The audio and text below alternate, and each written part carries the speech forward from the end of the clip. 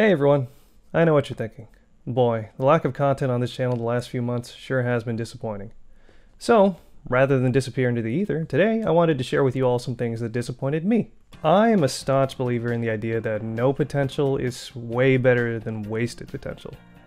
So the following are things that I initially liked from either their previous iterations or premise and thought showed promise, only for them to let me down in the long run. Most of the examples are a bit dated or I didn't feel were worth making a solo video on, so I thought it would be a good idea to get my thoughts out like this. But with that, let's start with some anime. I actually enjoyed Rurouni Kenshin and can probably sing praises on it all day, but dear god, is this a particularly difficult case of separating the artist from his work? When you come to know that the guy can only get a boner for children, specifically within the range of uh, elementary and middle school, which he was caught with a shit ton of pictures of. So, uh, yeah, I don't know. Uh, but hey, you know, Heart of the Sword is still cool, and um, it's probably still okay to like Rurouni Kenshin. Plus, the Hokkaido arc is still being serialized. Yeah, he still has a job. Um, the dude apparently got off really fucking easy, and was only fined about $1,900 USD for the whole ordeal. So, um, Bleach is the story of a hot-blooded boy who slowly loses his personality in favor of many different outfits across 10 years until everyone, including the author and editors, got tired of it. I actually don't know why this is on the list. I thought Darling in the Franxx was fine. It's just a shame that it was only 15 episodes. If it had another season to round out character motivations and flesh out the overarching plot, then I, am sure it would have wrapped up nicely. So, I guess I'm just disappointed that I didn't get to see a full anime. This show had a superb staff, well-established lore from its first series, and a fantastic first half, so for all intents and purposes, it should have been a slam dunk. But what actually ended up happening is that they dropped the ball so hard, it actually breached the Earth's core. It has been seven years, and I am still mad. In 100 million and 2,000 more, I will still be mad. I will start by saying that for better or worse, Crunchyroll has done a lot in the effort to make anime more accessible to a worldwide audience. But it's been over a decade since they've been bringing licensed anime to us, and they've barely evolved in their practices. Like, what, what the fuck is this? Even ignoring the fact that this is an American produced cartoon and has people of questionable nature on its staff, I think it's particularly despicable that they've opted to sweep any and all news of it under the rug. No one knows if this thing is still in production, or how much they wasted on expenses for it if it's actually been cancelled. This situation was made even worse when a year ago after being acquired by Sony, Funimation had cut ties with Crunchyroll, leaving them with even less variety of anime than before. Not to mention the massive layoffs that were just forgotten about for some reason. It really makes me wonder what the fuck you're doing with everyone's money at this point. But, um, if you want to sponsor me to say nice things about you instead, I'll still take that deal. I mean, everyone else has, so why not? Uh, but speaking of Sony...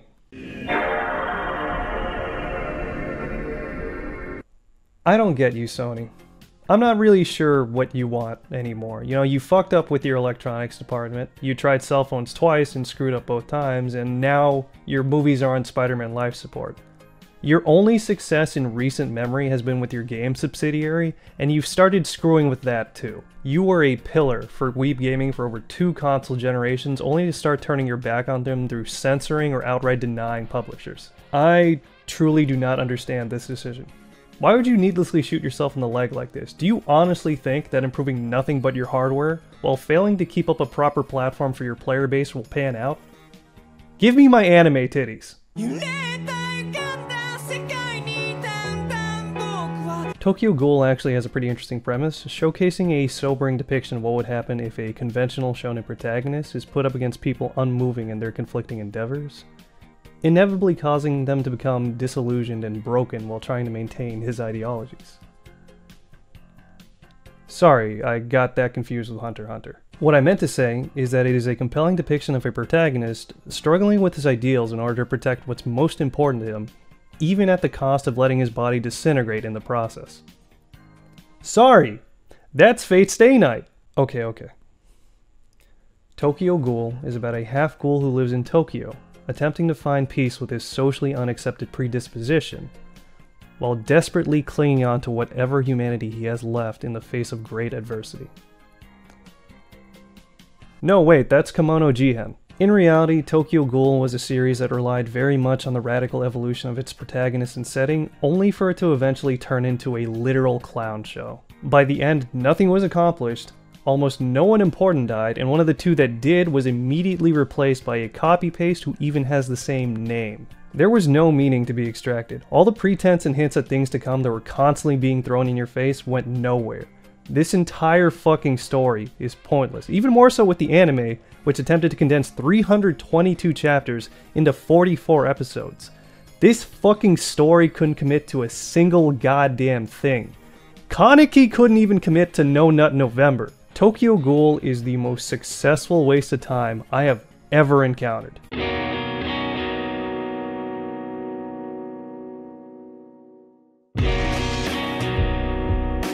When Silent Hills was canned, I finally felt I could empathize with people who are pro-life. Something that by all accounts should have been amazing was dangled in front of us and then was just gone thanks to the whims of its facilitators. It was so sad that someone who I hadn't spoken to in years but had a single shared point of interest with this series contacted me just to express his frustrations. But who knows? Death Stranding appears to be pretty divisive among people who have played it. There's no guarantee that if Silent Hills had finished production, it wouldn't have received similar reception. Diablo 3 is a game where you fight through hordes of the damned, gaining gear until you finally reach the game's most memorable boss, Leoric. And then the rest of the game happens. Everything. Twinkle, twinkle, little star. No. Uh, erased made me wish I could erase the anime from my memory. Uh, the only thing it accomplished was erasing four hours of my time. Any of these jokes hitting? Any of these jokes hitting? Okay, here's a more recent one. Uh, Indivisible. I had high expectations for this game since it was coming from Lab Zero, and it was clear that they were taking much inspiration from Valkyrie Profile only to be sorely disappointed by pretty much every aspect of this game that was not audio or visual. I found it really strange they decided to market this game as an RPG when in fact it barely has any recognizable features conventionally belonging to one. To borrow the words of someone who expressed my feelings better, Indivisible to RPGs is the equivalent of eating the bone from the steak. It just has the smell of meat on it.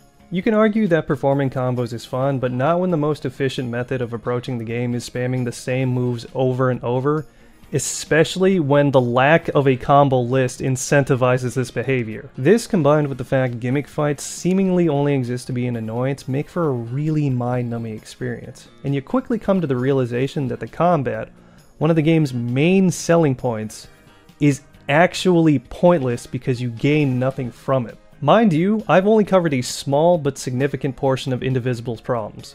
Everything else about it, from its story and pacing, to its platforming and functionality of most of its characters, ranges from bad to mediocre at best. Indivisible is a very pretty but incredibly shallow, substanceless game. It is so fundamentally flawed that no number of patches or balance changes can possibly fix it, and in no universe is it worth $40. Just give me a port of Valkyrie profile already. And, lastly, when I had a child, I truly wasn't sure if I was ready to accept the responsibility of raising another life. But seeing my son grow into such a talented young man eased all my apprehension and filled me with a sense of joy I didn't think I was capable of experiencing. And somewhere down the line, things turned sour. Circumstances would not see our lives, let alone rearing, to be an easy task. That's when I started to see an anger build inside of me. That same pointless aggression that robbed me of my sense for all my youth and took me decades to get a handle on. It was scary how much he reminded me of myself. I knew if he didn't change his ways, his life would only be full of sadness and hardship, just like me, just like his grandfather. So I did everything I could, everything I thought I had to, in order to steer him away from that path but it only caused more problems, and instead of easing his worries, just drained him of his happiness and vitality. What I thought was the right thing to do only caused him more pain and inadvertently continued him down a difficult path. Watching all the same notes being hit in his life while realizing I stumbled into the same mistakes as my own parents was an incredibly humbling experience. It filled me with an overwhelming sense of powerlessness and disappointment. But I'm not disappointed in my son. I'm proud of him. I have always been proud of him. I'm disappointed that he was forced to make concessions for the sake of my pride. I'm disappointed I couldn't give him the life I wanted to give him. But mostly, I'm disappointed in myself for not being better. I only hope he can learn to be happy again, and maybe, someday, come to understand how I felt when he was born. For me, that was the moment I truly felt my life had meaning. I love you, son. My dad wrote this for me. And frankly, I'm disappointed in him for it. Putting aside the fact the composition is awful, that it's incredibly tried and broad enough to be applicable to many different people while also making a blatant appeal at my empathy, the whole thing just tells me that my dad either knows very little about me or is just being willfully ignorant because I am neither unhappy nor feel that he's ever let me down. Now, it may be true that my parents both purposely raised me to be a borderline sociopath who only cares about anime and video games, but I've still managed to set my own standards for happiness and success, for which I've met almost all of. So it's honestly a bit upsetting that after giving me the tools to achieve these things, my dad still thinks he hasn't done enough for me. But, um, thanks anyway, Dad. I appreciate the effort. And um, I love you too. Or whatever. And that's all we got for today. Thanks again to all of you who decided to stick around, and I hope this filled the void even if just a bit. But if you're looking for more, I've got a Discord now. Wow, hey, check that out. Here you can make fun of how I don't move my mouth and have bad opinions to your heart's content, with the added benefit of holding me hostage to producing content more consistently. If that doesn't work for you, I've also got a Twitter that I really only use to follow artists. But uh, with that, I will see you all next time.